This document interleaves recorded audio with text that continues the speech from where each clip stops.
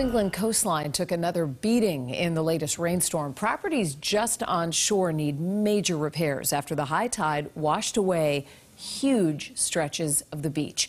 Tonight, WBZ's Tammy Mutasa takes us to Salisbury, where families are surveying the damage.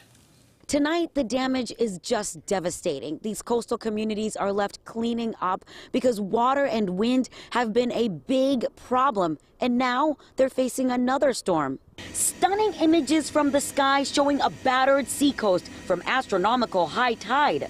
Raging waves wreaked havoc, leaving at least 20 homes damaged, some with decks ripped right from them. There used to be a set of steps over that way about 15 feet uh, that went down to the beach gone.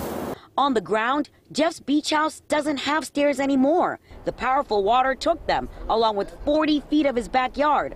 His neighbor's triple story deck collapsed into a stack of wood. Luckily, no one was home. It's devastating. We went through a lot here. Several homes, several homes. Sad situation we went through. In the town, debris and seafoam littered the streets. Tidal flooding hit a restaurant and flattened massive sand dunes that had been piled up on the beach from a back-to-back storm. The storm was so severe that it blew the dunes out and it also blew two doors off this building. Now, the precious commodity the town desperately needs is more sand to protect homes. The whole town leadership is just crossing their fingers, trying to hope to God, you know, that the governor and DCR and senators can somehow find a way to help us. Neighbors say another way to help? Put up a barrier. What they've been talking about for the five past years and have failed. With another round of snow, sleet, and rain hours away, officials are grappling with the cleanup effort while bracing for another blow. We get another hit like that, and they're going to be in big trouble.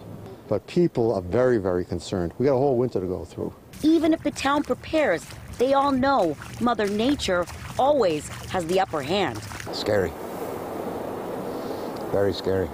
Officials say if your home was damaged in the storm, you can call the Salisbury Emergency Management for help. In Salisbury, Tammy Mutasa, WBZ News.